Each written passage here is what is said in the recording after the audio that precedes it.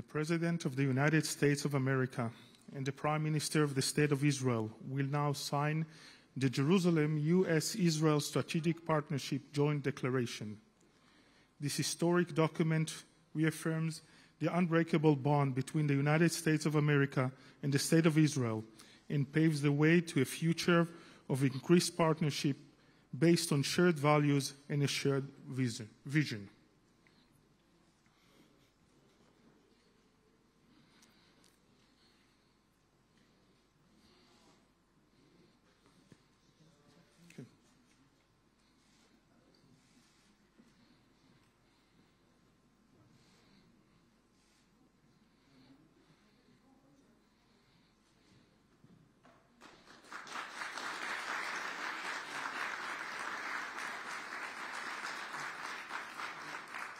Thank you, Prime Minister Lapid and President Biden.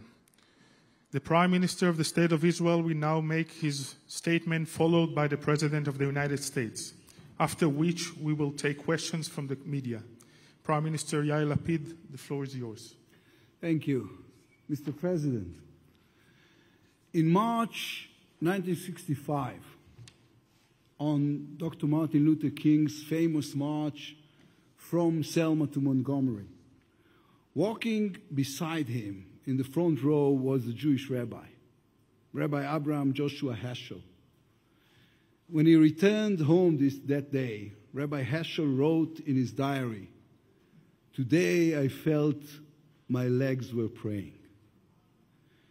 In the state of Israel, Mr. President, our legs pray every single day. Nothing is in our lives is taken for granted. My, father was a Jewish child in the Budapest ghetto, hiding from those who tried to kill him. The fact that I am standing here today did not happen by itself. We learned the lesson, Mr. President, at all times.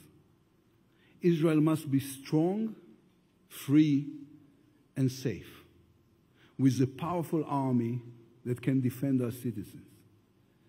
Be it Joshua crossing the Jordan River or Dr. King crossing the Alabama River, the principle is the same. If you want your independence, your hands must defend you and your legs must pray for you. You must march fearlessly towards the river. This past year, with Russia's unjustified invasion of Ukraine, with the Iranian nuclear threat becoming more dangerous, and with the threats of terrorism worldwide, we were all reminded of something. In order to protect freedom, sometimes force must be used. Nobody wants that, but neither can we shy away from it.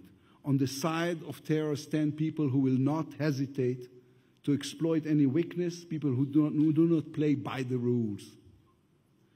Those of us who are fortunate enough to be born free people sometimes do not understand the intensity of the hatred behind the attack on democracy. What we, did we do to them? What makes them crash planes into skyscrapers in New York and fire rockets at kindergartens in the city of Sderot? The answer is fear.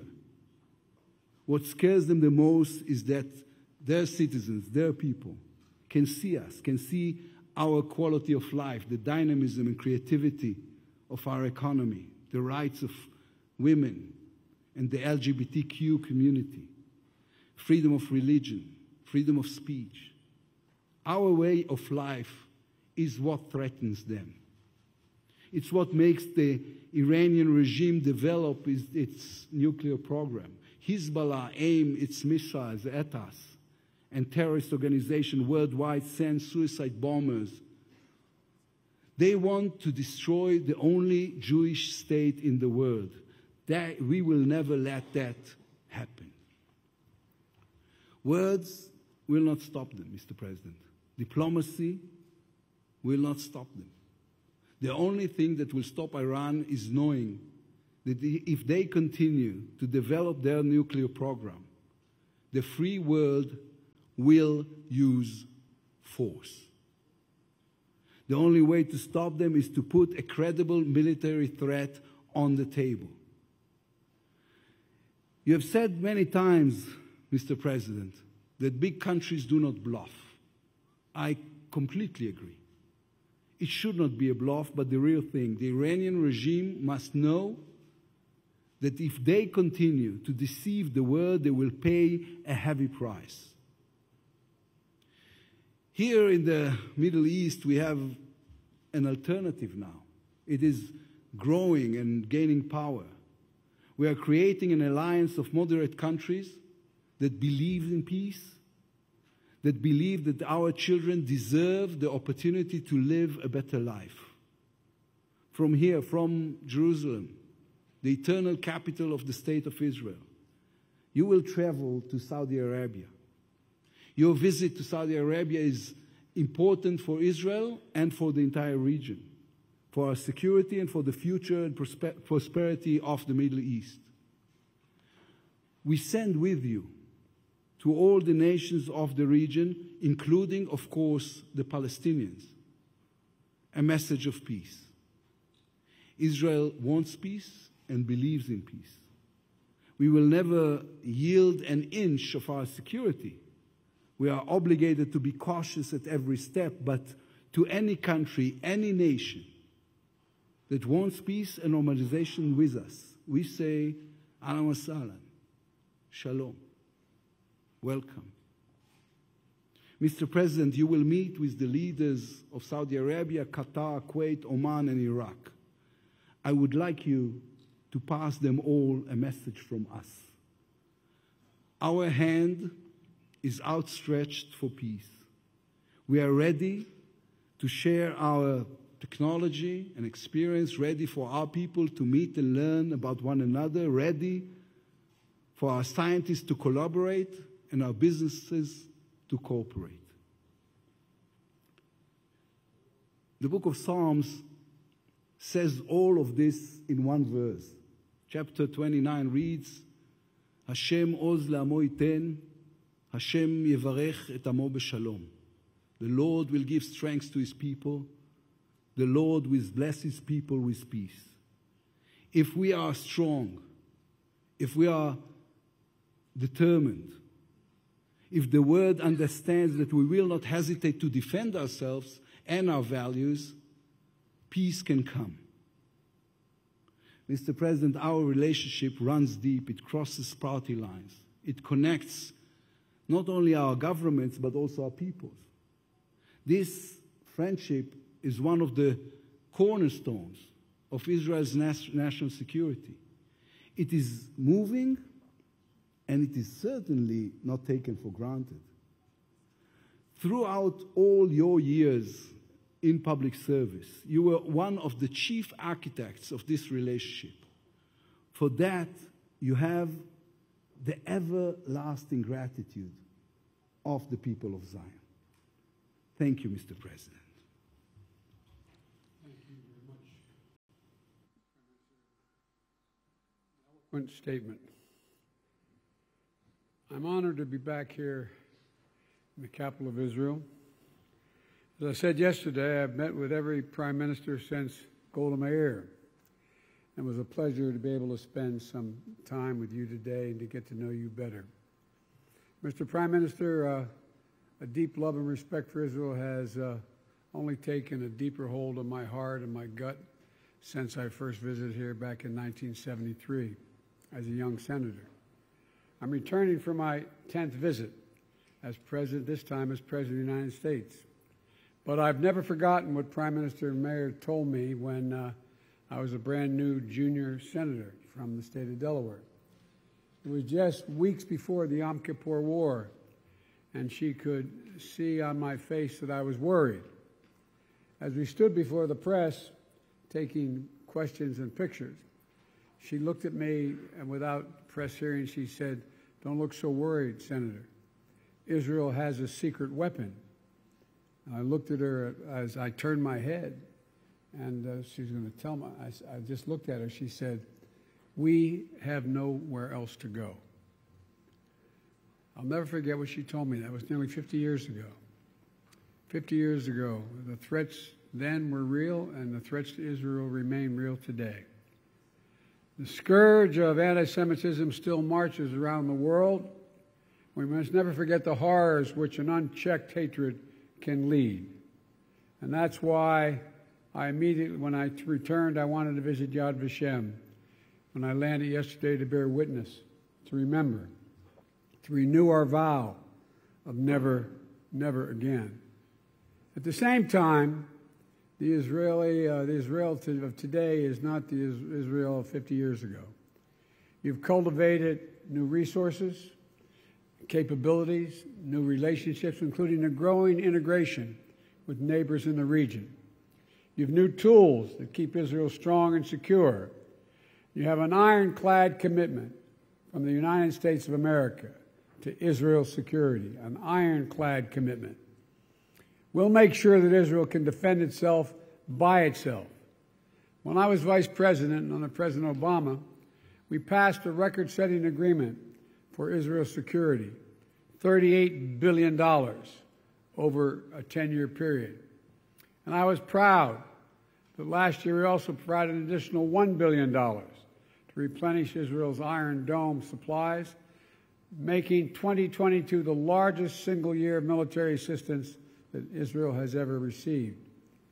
Yesterday, I viewed some of Israel's Iron Dome technology, as well as a very promising new Iron Beam technology, a laser enabled missile defense system. These technologies and advancements are critical. They're critical because every rocket that is intercepted is a potential life, perhaps more, that has been saved. As we move forward together, partners in both security and in innovation. The United States and Israel defense sectors will cooperate in new high energy laser weapon systems that can defend Israel, Israeli lives as well as lives of American service members. Israel and the United States also stand together to defend fundamental values and underwrite global security, prosperity, and freedom not just for us, but for many around the world. And Putin's assault on Ukraine is a challenge to the peace and stability everywhere in the world. Putin's war must be a strategic failure, and the free world must sustain our resolve to help Ukraine defend its democracy. The United States will continue to support Ukraine and the Ukrainian people who have been devastated and displaced by the Russian violence. Today, you and I also discussed America's commitment to ensuring Iran never obtains a nuclear weapon. This is a vital security interest to both Israel and the United States, and I would add for the rest of the world as well. I continue to believe that diplomacy is the best way to achieve this outcome, and will continue to work with Israel to counter other threats from Iran throughout the region, including support for terrorism, ballistic missile program that continues, and the proliferation of weapons to terrorists and proxies like Hezbollah. We'll also continue building on the Abraham Accords, which I strongly support because they deepen, they deepen Israel's integration into the broader region and establish lasting ties for business, cooperation, and tourism. We've just completed the first leaders summit among Israel, India, the United States, and the United Arab Emirates to deepen the economic ties between the Middle East and the Indo Pacific, to create new partnerships, to tackle global challenges like food insecurity and clean energy technology. Regional integration is also the goal of the historic Negev Forum, which took place here in Israel this past March. Israel's integration in the region, Israel's peace with its neighbors, these are essential goals Tomorrow, I'll be the first American president to fly from Israel directly to Jeddah, Saudi Arabia. That represents important progress. And when I see the Saudi leadership tomorrow, I'll be carrying a direct message a message of peace and extraordinary opportunities that a more stable and integrated region could bring to the region and, quite frankly, the whole world. As we work together toward greater integration, greater integration, we'll also continue to work for, toward a lasting negotiated peace between the State of Israel and the Palestinian people. Israel must remain an independent, democratic Jewish state, the ultimate guarantee and guarantor of security of the Jewish people, not only in Israel, but the entire world. I believe that to my core. And the best way to achieve that remains a two state solution for two people, both of whom have deep and ancient roots in this land, living side by side in peace and security.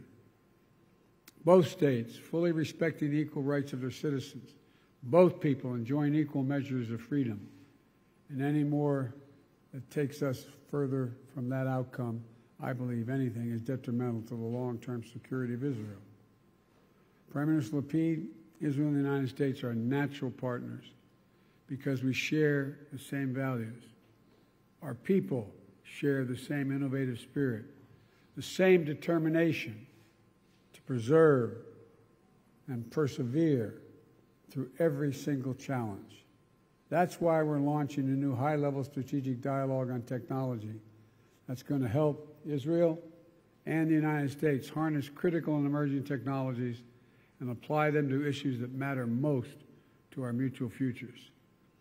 So thank you, Mr. President, for welcoming me back, for fostering and enduring bonds and continuing them that link the people of Israel and the United States. That's what this visit is about. Affirming those ties that stretch back to just 11 minutes, 11 minutes after Israel declared statehood, when the United States became the first country in the world to recognize Israel. And I assure you, will be the last country in the world ever to walk away from Israel. Ties that have grown deeper and broader with each passing year and now encompass a 21st century partnership, one grounded on age's values and looking squarely at the future. We're here to stay, Mr. President, Mr. Prime Minister. Like it or not, we're with you. There's no way out. I want to thank you very, very much for your hospitality.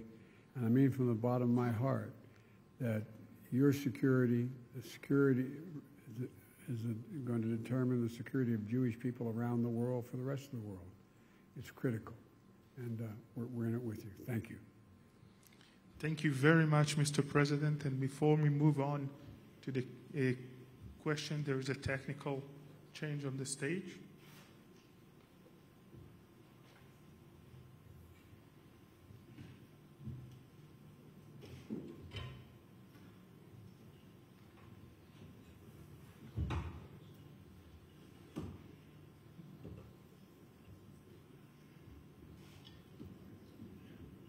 These guys work awful hard. Yes, we're just standing here.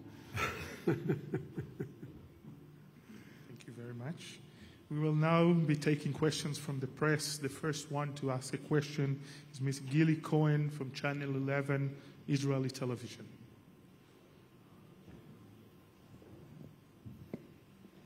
Thank you, Mr. President. Uh, I want to ask Will you set a deadline for the nuclear talks or define a certain stage when you will say there is no more opportunity to revive the nuclear deal and what will happen afterwards? And another question, sir. Your visit tomorrow is Jerusalem and you won't be accompanied by an Israeli official. Does this represent a change in your administration's view regarding the recognition of Jerusalem as the capital of Israel? And if East Jerusalem is part of it? Thank you. Answer your last question is no. With regard to uh, your first question, we've laid out for the people, for, for, for the leadership of Iran, what we're willing to accept in order to get back in the JCPOA. We're waiting for the response. When that occur, when that will come, I'm not certain, but we are not going to wait forever. Mr. President, do you want to? Question was for the president. Uh, Mr. President, do you want to call on the next question? Um, sure. Uh, I, I, was you give given a list here. I, uh, Steve Holland of Reuters. Opposition back home to your meeting with Saudi leaders this week. What will you say to Saudi leaders, specifically to Crown Prince Mohammed bin Salman, about the Khashoggi murder and other human rights practices? And if I may, uh, Prime Minister Lapid, How close are you to an agreement with Saudi Arabia to gain overflight rights, and should we expect that soon? Thank you. With regard to the question you asked me, uh, my views on Khashoggi have been absolutely, positively clear. Um, and I have never been quiet about talking about human rights. The question that I'm, the reason I'm going to Saudi Arabia, though, is much broader, is to promote U.S. interest. Promote U.S. interest in a way that uh, I think we have an opportunity to uh, reassert what I think we've made a mistake of walking away from our influence in the Middle East. I'm going to be meeting with nine other heads of state. It's not just it happens to be in Saudi Arabia. And so there are so many issues at stake that I want to make clear that we can continue to lead in the region and not create a vacuum, a vacuum that is filled by China and or Russia against the interest of both Israel and the United States and many other countries. And so the purpose of the visit is to is to uh, coordinate with uh, nine heads of state what are in U.S. interest, and I believe in Israel's interest as well. Uh, well, let's, let's the Prime Minister. I will bring up, I always bring up human rights. I always bring up human rights. But my position on Khashoggi has been so clear. If anyone doesn't understand it in Saudi Arabia or anywhere else, then they haven't been around for a while. About the, the overflights of Saudi Arabia, of course, as I was saying in my speech, we are all for uh, promoting normalizations with every country in the region that it is possible. But since the president is going to Saudi Arabia and he, there will be a finalization of the issues over there, I will let the president finalize this when he's in Jeddah. Thank you, Prime Minister. I'm optimistic.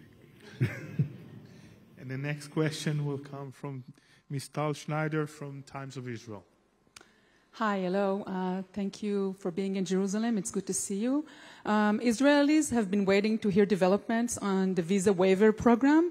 We know that there are hurdles but, uh, to get there.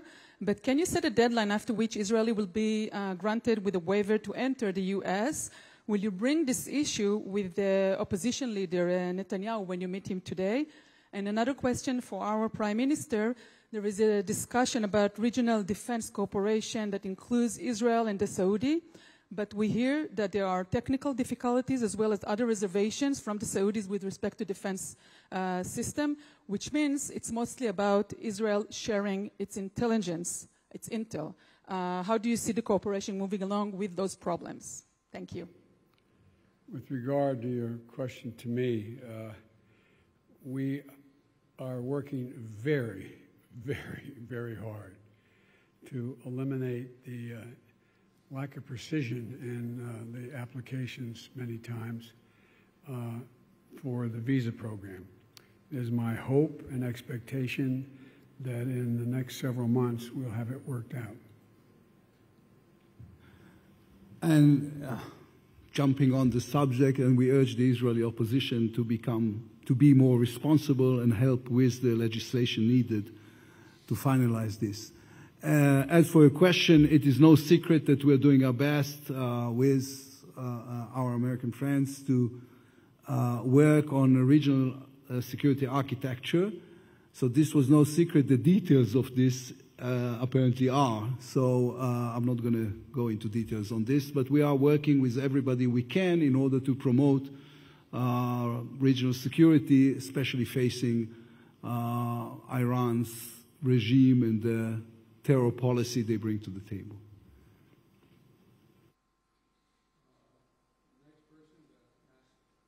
Us a question, I guess, is uh, uh, Nadia. Thank you, Mr. President. Nadia Bilbassy of Al Arabiya Television. Um, allow me to press you a little bit on Iran, if, if I may. Um, you visited. No. I'm not going to. You're, yeah, we walk up. You are, you are visiting the Middle East here in Israel, and then you go into Saudi Arabia where you're meeting with King Salman and other GCC leaders.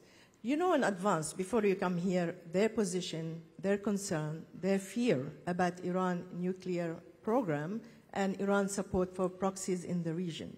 Tangibly, what are you offering them to assuage their fear and concern practically? Is this anything that you're offering them to make them feel comfortable that the United States are on the same page with them. And if I may, Mr. Prime Minister, um, what are the differences and the similarities between you and President Biden regarding Iran? Um, do you see eye to eye on all the issues? I mean, you alluded to some differences just now. And if I may, um, I wanted you to confirm to us today your position in supporting the two state solution as a caretaker prime minister, and if should you be elected as the next prime minister of Israel? Thank you so much. With regard to Iran and convincing the Saudis and others that we mean what we say, is we mean what we say. They have an opportunity to accept this agreement's been laid down. If they don't, we made it absolutely clear. We will not, let me say it again, we will not allow Iran to acquire a nuclear weapon? Well, with regard to a question about Iran, uh, we have an open discussion about what is the best way to deal with it, but I don't think there's uh, uh, a light between us in terms of uh, uh, these are all means to an end. We cannot allow Iran to become nuclear. Uh, Israel serves the rights to act freely on the subject, uh, but we are, of course, uh, discussing everything with our greatest ally, which is the United States. About the two state solution, I haven't changed my position. A two state solution is a guarantee for a strong democratic state of Israel uh, with a Jewish majority. Thank you very much. This concludes the signing ceremony and the press conference. Please remain seated until the leaders have left the room. Thank you all so much. No, no, this concludes the.